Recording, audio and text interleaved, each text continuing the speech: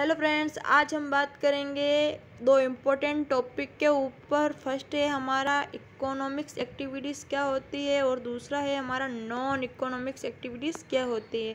तो सबसे पहले हम बात करेंगे इकोनॉमिक्स एक्टिविटीज़ के ऊपर।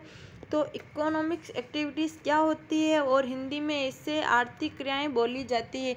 जो भी ऐसी क्रियाएँ होती है, जो भी ऐसी एक्टिविटीज़ होती है जिससे कि हम पैसा कमाते हैं और वो क्या होती है? इकोनॉमिक्स एक्टिविटीज़ जैसे कि एक एग्ज़ाम्पल लेकर समझते हैं, जैसे कि एक टीचर है, वो स्कूल में पढ़ा रहा है और उसके बदले में वो क्या चार्ज कर रहा है? सैलरी तो ये क्या है? ये एक इकोनॉमिक्स एक्टिविटीज़ है।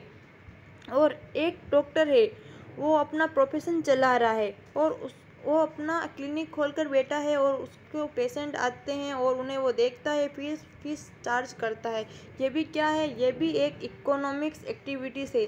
इसी के साथ हम सीखेंगे नॉन इकोनॉमिक्स एक्टिविटीज़ ध्यान दीजिएगा कि यहाँ एक डॉक्टर है, वो अपने ही बेटे को इलाज कर रहा है और उसके बेटे से तो वो पैसा नहीं मिलेगा। यानी कि तो वह क्रियाएँ है जो हम हम कर रहे हैं बट उसके बदले में हमें पैसा नहीं मिला जैसे कि चैरिटी उस, हो गया।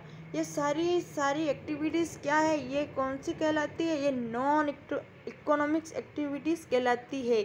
अगर आपको मेरा वीडियो पसंद आया तो लाइक कीजिए शेयर कीजिए सब्सक्राइब कीजिए। Thank you